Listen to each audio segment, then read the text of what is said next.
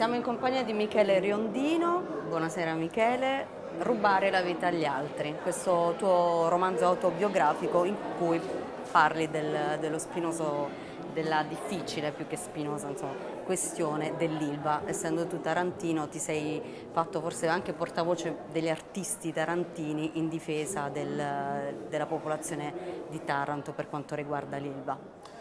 Sì, beh, eh, il libro parte diciamo, da, da, alcune riflessioni rispetto a, a, Taranto e soprattutto a che cosa significa nascere a Taranto all'ombra di una ciminiera. Il libro è semplicemente una raccolta di pensieri, quasi, quasi come se fosse un, un libro di bordo, quindi quindi ripercorro, ripercorro tutto, tutto, tutto, la, tutta la strada fatta da Taranto e quindi nascere in un luogo dove, dove non, non, ti viene fornita la possibilità di, di dedicarti a ciò, che, a ciò, che, aspiri e quindi al teatro. Uh, parte appunto da Taranto e quindi da alcune riflessioni su che cosa significa vivere uh, in una città come, come, quella di Taranto per poi arrivare a Roma invece avviarsi in quello che è il percorso teatrale, quindi lo studio, l'accademia e alcune riflessioni rispetto al teatro e a che cosa significa essere attori. attori. E che cosa significa essere attori?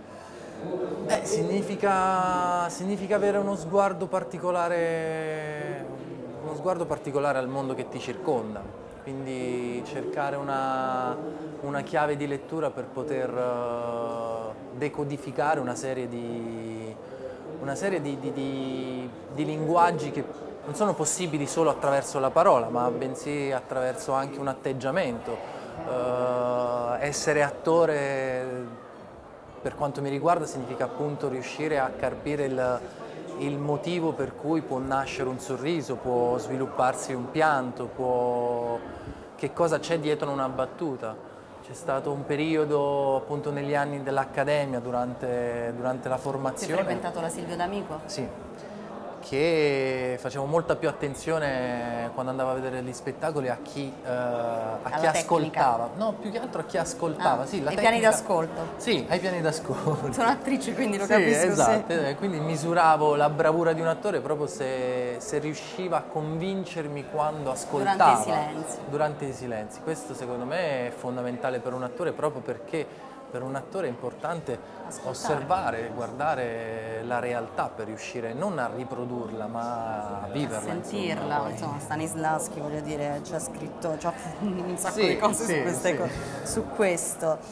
E, ehm, è come se eh, non avesse la pelle secondo me un attore a volte perché eh, io per esempio ho studiato dalla Bracco e lei diceva che eh, secondo lei un attore che ha fatto un, un training eh, come si deve eh, diventa una brava persona, una buona persona? Sì, sono completamente d'accordo. Perché fa un viaggio all'interno poi di, della, della, sua psicologia, prova innanzitutto a conoscersi, sì. cosa che non, nelle altre professioni non è richiesto. E quindi prova a fare un viaggio attraverso poi tutti i meandri insomma, del proprio, della propria psiche, del proprio carattere. Sì, beh, è così vera questa cosa che appunto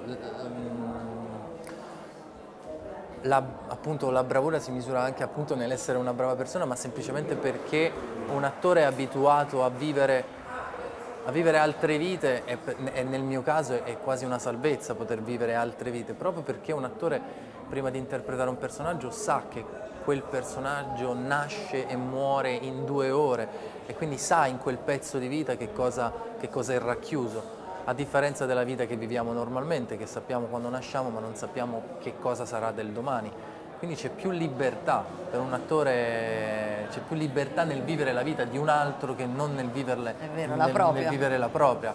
Questo fa sì che appunto si, forma, si formi anche un carattere particolare, un carattere Scopri un anche degli aspetti che magari nella vita normale. Si è più sensibili, sì, oltre diciamo che più così. schizofrenici. Eh, vabbè, un po' bipolari che dir Eh, si sì. voglia.